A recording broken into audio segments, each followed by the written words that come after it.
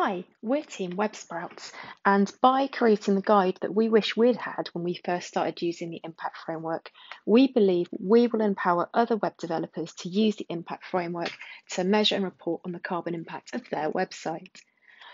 We've created um, a pack of resources which should allow web developers to use the Impact Framework if they're new to it, including a video series, an article, prototypes of helpful web tools, and a launch pack to tie these resources together.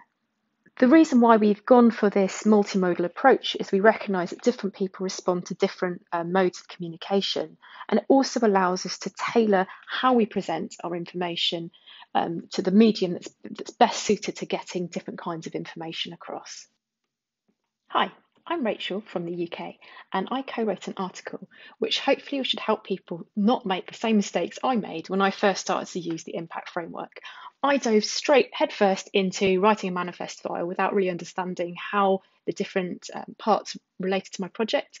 Um, and this guide goes through how to make those decisions before you start writing.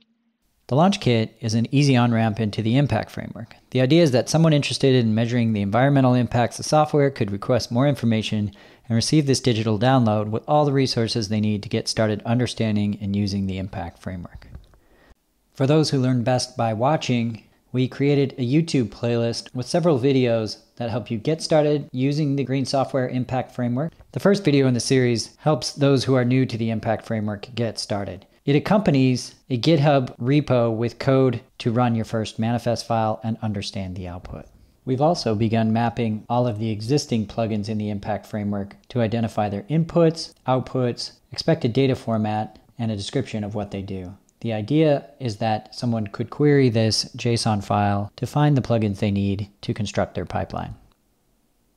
To take the future needs of the Impact Framework into a little further consideration, we made a Hugging Face space with a couple of prototypes on things that could supplement the advancement of the impact framework. The first is a submission form, which would ideally complement an impact framework plugin registry. The idea behind this is that it would standardize the format for any potential plugin builder to identify plugin name, description, where the code lives, and what the inputs and outputs are, including the units of measurement, examples, and whether they're required or optional. This submission form would also surface the plugin data and assumptions built into each plugin along with their sources to create transparency and auditability into the calculations the plugin makes.